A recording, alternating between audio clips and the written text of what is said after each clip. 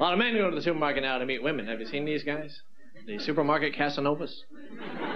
Pretty easy to spot, aren't they? Incredibly overdressed for the supermarket. Have a brand new cart. It's filled with condoms and oysters. Hi. Very easy to spot. They now have a condom that glows in the dark. Have you heard about this? Have you seen this? That's what I want to know. Glows in the dark. Think about that. In the heat of passion, wouldn't that have a strobe effect in the room? Right? People are walking by your house, the lights are going off and on. Hey, what's going on in there?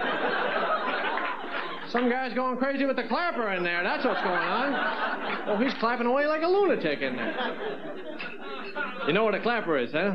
That's a bad sign. A lot of late night TV viewing going on in this audience.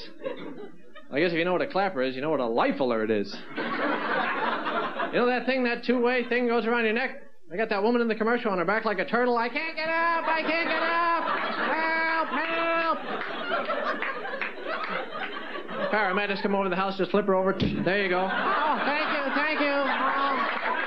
Driving down here tonight, I saw a guy talking on the car phone in a Yugo. I was thinking, who's he talking to? Kmart?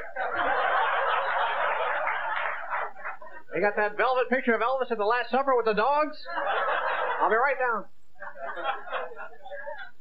It's almost late getting here. I stopped at the bank machine.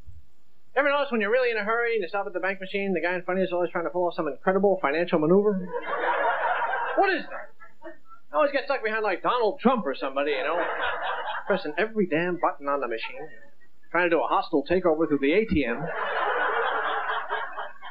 No, I'm just there behind him waiting for my insulin money. Come on, hurry up, will you, buddy? You better hurry up there, boy. I've got about five minutes to live here. I'm going to go into a coma. You better hurry up. I better have a candy bar or something. On.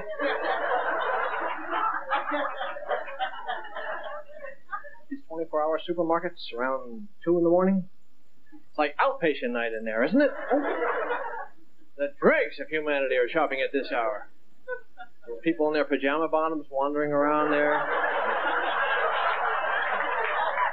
Where are the beans? That's the manager of the place. And you hear that nervous weirdo online behind you when you're checking out. You know that guy has been up since like July? Smells like vodka and Doritos or something there. Breathing on you there. Sometimes you gotta take that rubber divider, put it right in the floor. There you go. You stay over there, I'll stay over here.